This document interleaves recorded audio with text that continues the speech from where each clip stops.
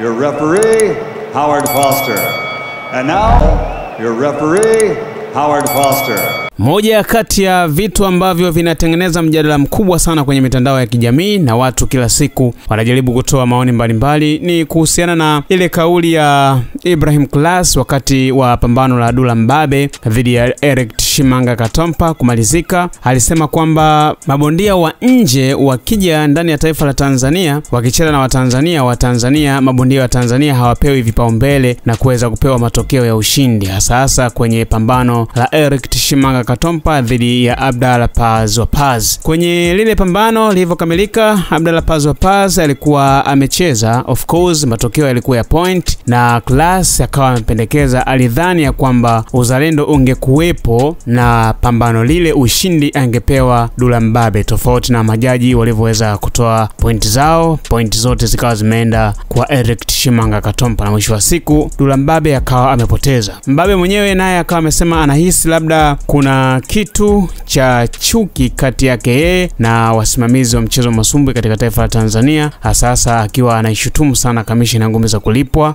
Alihisi ya labda kuna shida ambayo yeye haifahamu, ndiyo maana matokeo yakawa vile. Lakini mwisho wa siku mabondia wote Ibrahim Class pamoja na Dula Mbabe wakawa wameenda kwenye ofisi ya kamishina ngome za kulipwa nchini Tanzania na kuomba msamaha, huku akikiri ya kwamba kile ambacho walikuwa nakizungumza ilikuwa tu ni mihemko yao baada ya kupokea matokeo yale. Sasa watu wakawa wamejaribu kumuuliza e, Tua Kasim Kiduku aweze kuzungumza kwamba je, kuna ukweli wowote mabondia wakienda nje ya ardhi ya nyumbani wanaweza wakawa wamecheza vizuri na kupata matokeo ya ushindi, japo watu wa kule wanapewa matokeo licha ya Watanzania kufanya vizuri kwenye mataifa yao. Tua Kasim Kiduku kwa upande wake amekiri ya kusema kwamba ni kweli jambo hilo lipo, na ametolea mfano yeye, kuna baadhi ya nchi alienda kucheza na mpinzani alikuwa amechezea kichapo, lakini mwisho wa siku matokeo yakawa yametangazwa kwamba bondia wa kule ndio mshindi. Kwa hiyo amesema kwamba jambo hilo lipo, lakini kwa mabondia wa Tanzania amewataka eh, kukubali ya kwamba kamishina ngumi za kulipwa nchini Tanzania haina nia mbaya, kusema kwamba hata kama mtanzania akapigwa au hata kama ameshinda, lakini ushindi amepewa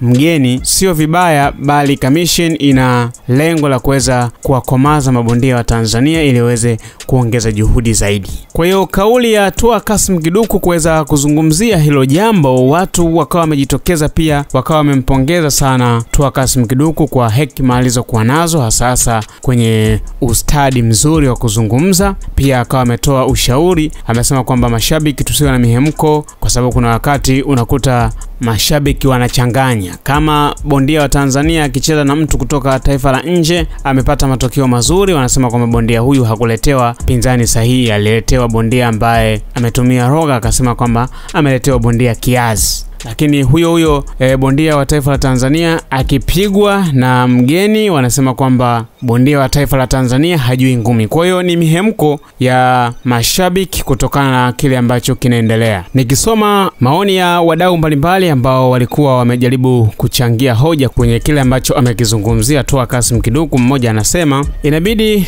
mabondia wawe na kazi ya kuweza kuwaandaa mashabiki zao na waweze kuwakumbusha kuhusiana na namna ambavyo mchezo wa masumbwi unakwenda. Kwa mfano, katika taifa la Tanzania kumekuwa na mtindo, mgeni akionyesha upinzani kidogo tu, hata kama kapigwa hadharani, mashabiki utakuta wanasema bondia wetu ameweza kubebwa, na ndio maana mgeni akawa amepigwa KO au matokeo mengine yakiweza kujitokeza, na maneno yanakuwa mengi sana, anasema kwamba bondia wetu ameweza kuletewa bondia kia kwa hiyo tumefika mahali inapaswa tujue kwamba mchezo wa masumbwi ni kama michezo mingine. Kama mgeni amepigwa na tumeshuhudia mchezo mzuri, basi tuwasifie mabondia wetu kwamba wamefanya vizuri, na kama itatokea bondia wetu amepigwa tusimseme kwa ubaya kusema kwamba hajui ngumi. Nazungumza haya kwa sababu tuliona pambano la Toa Kiduku dhidi ya mgeni ule kutoka South. Toa Kiduku alipoteza, sio kusema kwamba alicheza vibaya, bali amepoteza mchezo kama michezo mingine inavyokuwa kawaida. Na hili la kusema kwamba mabondia wakicheza na watu wa nje wabebwe, mimi kwangu nakataa.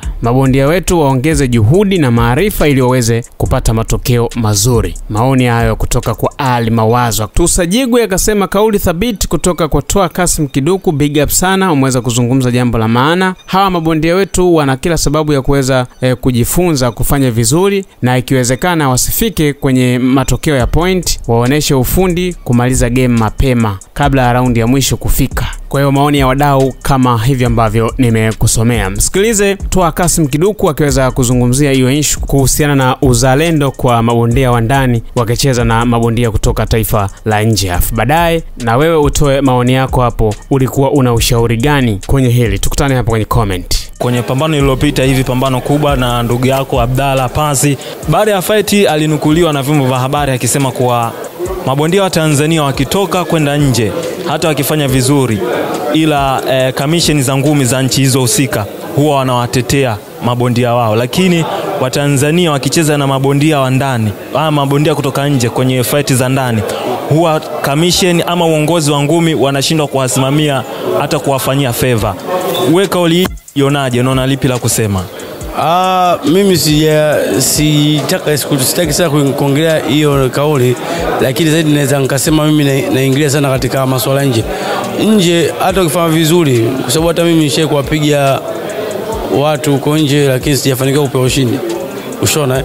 Lakini kwa mimi nasema wale ambao watu wa nje ambao sisi tunafanikiwa kuwapiga watu wao, afu wanawapa ushindi watu wao na wanawalemaza, ila mimi naamini sisi kamishina yetu na nchi yetu hawatulemazi sisi, wanataka tuone uchungu wa ngumi, tupigwe kweli. Kama mtu kama mtu kashinda ashinde kweli kihalali, na kama mtu kapigwa kapigwa kweli kihalali. Kwa hiyo ukipewa kitu chako ushindi, kama ushindi unabidi ulizike, na kama umepoteza unatakiwa upate uchungu. So inawezekana umepoteza alafu useme wakubebe, wanakulemaza, unaweza siku ukaenda kufa kwenye ringi.